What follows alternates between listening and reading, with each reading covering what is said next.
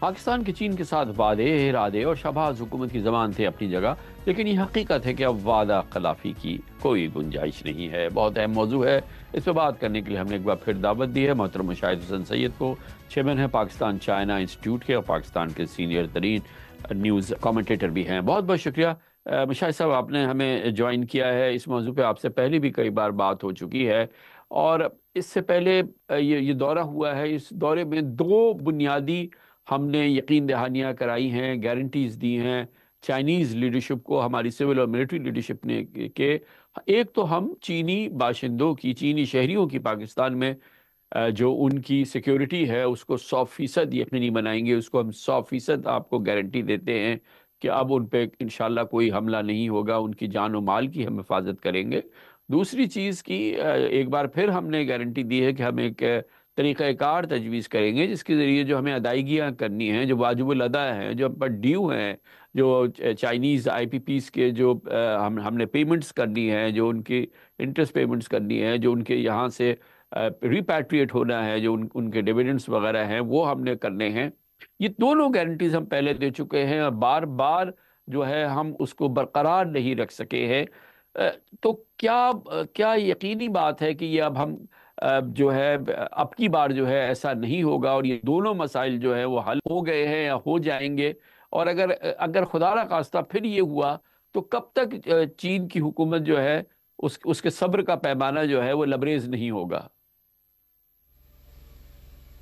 अस्सलाम वालेकुम, कामरान साहब और आपके व्यूज़ को बड़ा अस्सलाम वालेकुम। पहला तो ये है कि जैसे आपने भी फरमाया कि ये दौरा बड़ा अहम था।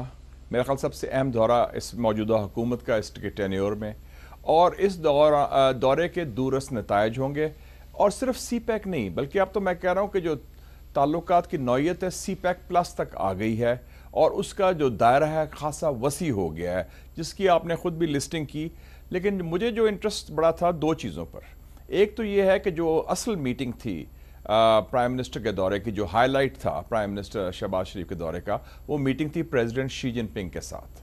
और उसमें army chief general Asim Munir भी मौजूद थे और उनकी मौजूदगी बेसिकली एक मैसेज थी कि पाकिस्तान के चीन के साथ ताल्लुक स्ट्रेटिजिक हैं, एक होल पूरे निज़ाम होल ऑफ़ सिस्टम अप्रोच है और वो आर्मी चीफ जो हैं, वो सी पैक सिक्योरिटी के गारंटर हैं और पॉलिसी कॉन्टीन्यूटी के पॉलिसी का तसलसल रहेगा उसकी गारंटी के लिए वो साथ बैठे हैं। और इससे चाइनीज़ जो अतमाद है, वो बहाल हुआ। और दूसरा जो अहम था कि जो लैंग्वेज इस्तेमाल की गई दोनों तरफ़ से, कि अनब्रेकेबल म्यूचुअल ट्रस्ट है और जो इवन हमारे जो डिफेंस ताल्लुक हैं, उसकी बुनियाद जो है, एक अतमाद के रिश्ते की बुनियाद पर है और वो इरिप्रेसिबल क्रिटिकल रोल है पाकिस्तान और चाइना की डिफेंस फोर्सेस का इन मेंटेनिंग रीजनल बैलेंस और उसमें शी जिनपिंग ने जो कहा डेलीगेशन को, कि ये हम पाकिस्तान को, ताल्लुकात को, हम स्ट्रेटिजिक और लॉन्ग टर्म जाविये से देखते हैं। तो उस हवाले से ये जो इश्यूज़ आ रहे हैं जो टेक्टिकल इश्यूज़ मैं कहूँगा एटलीस्ट जो आ, पैसे देने वाले हैं या कर्जे की अदायगी है ये रिजॉल्व हो जाएँगे। क्योंकि चाइना भी लार्जर पिक्चर देख रहा है। हम भी लार्जर फ्रेमवर्क में देख रहे हैं कि ये ताल्लुक को अगले पाँच दस साल में कहाँ लेके जाना है। और उसमें जो कोर इशू आपने बयान कर दिया वो है सिक्योरिटी का। क्योंकि पिछले पाँच सालों में छः हमले हुए हैं चाइनीज़ तनसीबात पर चाइनीज़ प्रोजेक्ट्स पर चाइनीज़ पर्सनल पर, जिसमें सत्रह चाइनी डेथ हुई और तेरह पाकिस्तानी भी मारे गए उसमें। तो वो जो है वो उसके शी जिनपिंग ने भी उसका ज़िक्र किया उनके प्राइम मिनिस्टर ली चियांग ने भी ज़िक्र किया। तो वो अब हमारे लिए एक बड़ा चैलेंज है। और बाकी दूसरा जो है वो वन विंडो ऑपरेशन की बात है और जो अदायगियाँ हैं उसके लिए फ़ेज़ आउट कैसे करना और किस तरीके से उनको वर्कआउट करना। तो चाइना के लिए पैसे का इशू नहीं है। चाइना के लिए मोर इंपॉर्टेंट इशू पॉलिसी है। सर, बहुत अरसे से हमने ग्राउंड पे मटेरियल प्रोग्रेस नहीं देखी है सी पैक के हवाले से। You know substantial hustle bustle projects लग रहे हैं जॉब्स क्रिएट हो रही हैं, और फिर चाइनीज़ जो नो हाउ है वो यहाँ पे ट्रांसफ़र हो रही है। पहले इरादा ये था कि चाइनीज़ कुछ एक्सपोर्ट्स का हिस्सा जो है वो पाकिस्तान में आएगा वो चीज़ें ऑपरेशनल हम कोई प्रोग्रेस अब हम देखेंगे इस दौरे के बाद जो जैसा कि आप फरमा रहे हैं और बड़ी अच्छी बात है कि आप आपको लग रहा है कि ये बहुत अच्छी और सब्सटेंशियल हमारा दौरा हुआ है और बहुत सब्सटेंशियल इसके नतीजे में सी पैक के साथ कमिटमेंट जो है उसको रीइटरेट किया गया है। तो अब हम ऑपरेशनल भी इसमें कुछ चीज़ें देखेंगे क्योंकि जब ये दौरे होते हैं ये एमओयू वगैरह अगर हम चाइना के गिनने भी शुरू कर देंगे तो I think they will run into several hundred if not thousand तो ये अब हम ऑपरेशनल कोई चीज़ देखेंगे। एक तो मैं देखता हूँ दो कॉन्टेक्स्ट है। एक जो जॉइंट स्टेट स्टेटमेंट इशू है, वो it's almost I would say काफ़ी तारीखी है, क्योंकि उसमें जो फॉर्मुलेशन दोनों तरफ़ से की गई है, वो बड़ी पुख्ता, बड़ी स्ट्रॉन्ग है और वो रीफर्मेशन करती है द हाइस्ट लेवल क्योंकि हम बात कर रहे हैं चाइनीज़ ज़ुबानी जमा खर्च बात नहीं करते, वो बड़े जो बात करते हैं, बड़ी संजीदा तरीके से करते हैं और उनका लॉन्ग टर्म व्यू होता है जिसमें उनके प्रेसिडेंट उनकी कम्युनिस्ट पार्टी उनकी हुकूमत शामिल है। और दूसरा आपने देखा कि बड़ी स्पेसिफिक गुफ्तु हुई है, जो एरिया है वो वाइडन किया गया है। अब चैलेंजेस ये हैं जो आप जो सही फरमा रहे हैं कि जो पहले पाँच सात साल तरक्की हुई सी पैक के ज़रिए, जिसमें उनकी 26 बिलियन डॉलर की इन्वेस्टमेंट भी हुई, ढाई लाख जॉब्स भी जनरेट हुए, हमारा फोकस था इंफ्रास्ट्रक्चर और एनर्जी बिजली की पैदावार। अब हम उसको फोकस कर रहे हैं और ख़ास तौर पे जो की एलिमेंट क्या है? रीलोकेशन ऑफ़ चाइनीज़ इंडस्ट्री और रीलोकेशन ऑफ़ चाइनीज़ इंडस्ट्री कहाँ होगी?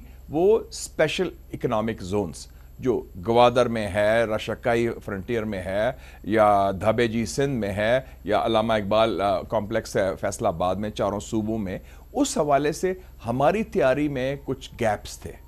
अब वो कहते हैं कि बोर्ड ऑफ़ इन्वेस्टमेंट में भी नई लीडरशिप आई है और नए अज़म के साथ हम आगे लेके चल रहे हैं और उसमें एक एस आई एफ़ सी का भी इदारा पीछे बना हुआ है और अब माइनिंग को भी ऐड कर लिया है सी पैक में आई टी को भी है एग्रीकल्चर भी है साइंस एंड टेक्नोलॉजी भी है इंडस्ट्री भी है एजुकेशन भी है।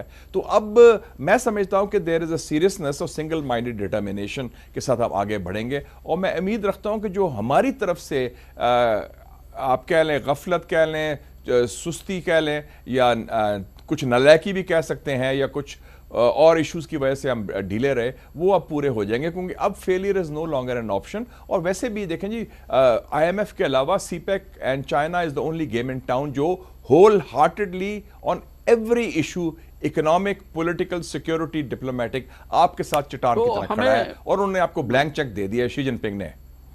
सर हमें तो बैलेंस भी करना है शी जिनपिंग ने आपको ब्लैंक चेक दे दिया कि आप आगे हम आपके साथ खड़े हैं। जी। सर बिल्कुल ठीक है अब हमें बैलेंस भी करना है ना एक जानब सी पैक एक जानब यूएस लेड आईएमएफ है और फिर खुद यूएस है क्योंकि जहाँ पर हमारी सबसे ज़्यादा एक्सपोर्ट जाती है हमारा सबसे बड़ा एक्सपोर्टिंग पार्टनर है एक बहुत बड़ी एडवर्सरियल रिलेशनशिप है चाइना की और यूएस की। ये हम जैसा मुल्क जो है वो जो बिल्कुल ही दोनों तरफ़ रहबो करम पर है वो इसको बैलेंस कर पाएगा? स्ट्रेटेजिक जो इंटरेस्ट है दोनों मुल्कों के, हमारे इस खत्ते के लिहाज से। मेरे ख्याल में कर पाएगा। हमने माजी में भी किया है। जब इवन सिक्सटीज़ में कोल्ड वॉर का पीरियड था, उसमें खैर इकोनॉमिक डायमेंशन कम था। सिक्योरिटी डिप्लोमेटिक और मिलिट्री जियो पॉलिटिक्स ज़्यादा थी और उसको चाइना टोटली कमज़ोर भी था आइसोलेटेड था। मैं अपना समझता हूँ, मेरा अपना तजिया ये है कि चीन और अमेरिका की जो सर्द जंग है वो ना ये नहीं कि वो ना वो ज़रूर होगी उसमें भी काफ़ी कमी आई है ख़ास तौर पे जो शी जिनपिंग और बाइडन की मीटिंग थी। अभी तो खैर इलेक्शन कैंपेन है। देखते हैं पाँच नवंबर को कौन प्रेसिडेंट बनता है। लेकिन जो भी है अमेरिकन और चाइनीज़ का अपना भी स्टेक्स है बढ़ गए हैं उनके कि आपस में तावन करें। और आपने देख लिया कि आर्टिफिशियल इंटेलिजेंस पर उन्होंने गुफ्तु की। उनके डिफेंस मिनिस्टर्स मिले हैं अभी शंग्रीला डायलॉग में सिंगापुर में, और कुछ उनकी तलखी में कमी आई है। और पाकिस्तान कोई ऐसे कदम नहीं ले रहा कि जो कंस्ट्रू किए जाए अमेरिका में कि अमेरिका के ख़िलाफ़ है। हम तो सिर्फ़ ये बात कर रहे हैं कि अपनी इकोनॉमिक डेवलपमेंट के लिए और हमने ये भी कहा है कि हमारे दरवाजे सबके लिए खुले हैं। ये जो इन्वेस्टर्स है कोई नो गो एरिया नहीं कि सिर्फ़ चाइना स्पेसिफिक है। थैंक यू वेरी मच जनाब मुशाहिद हुसैन सैयद हमारे साथ थे। और इसके साथ ही हमारे आज के प्रोग्राम का अख्ताम होता है। कल आपसे फिर मुलाकात होगी इन कल तक के लिए कामरान खान को इजाज़त। अल्लाह हाफिज। नासिर